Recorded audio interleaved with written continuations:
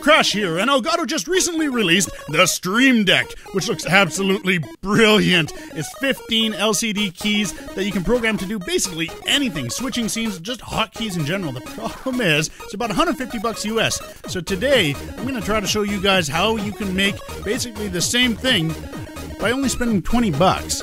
And it only takes a few minutes to do, as you'll see in this video. All you need is a regular keypad. So, as you'd expect, when you plug it in, it works like a keypad. You punch in a bunch of numbers, and it, that's all it shows. So, we need to install a special piece of software to make it so that this works as a hotkey. The software you want to install is called HID Macros, and this software can actually identify between different keyboards, which many macro programs can't. So, once you download it, you're going to want to extract the zip folder and put it somewhere on your hard drive. When you run this program, you want to right click it and run as administrator. This window is going to come up.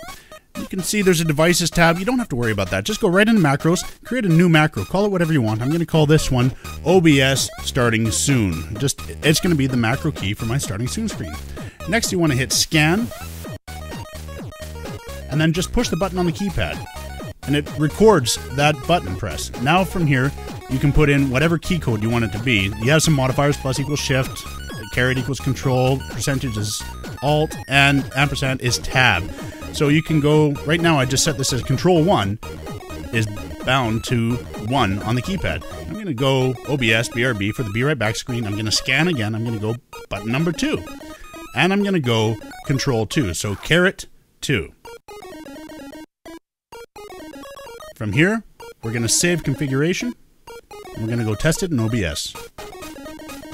And here we go. Moment of truth. Is this going to work? And it did! Perfect. Let's try it again just to make sure that was not a fluke. Let's go to the Be Right Back screen. And we're going to punch number two on the keypad just to see if this is going to work still. Okay, here we go. We found it, and bam, it worked. So there we go. You have made your very own Stream Deck. Let's run a few tests here. There we go, starting soon. Be right back. Back to starting soon. Excellent. It works. Just remember, guys, this program has to be running in the background for the macros to work. So make sure you fire it up when you first start OBS or have it start when Windows automatically starts if this is a dedicated streaming machine or if you want to use it for anything else besides just streaming.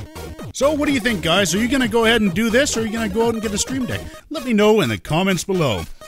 If this video made you feel all warm and fuzzy inside, go ahead and show that like button some love. Thanks for watching, and always remember, the key to happiness is...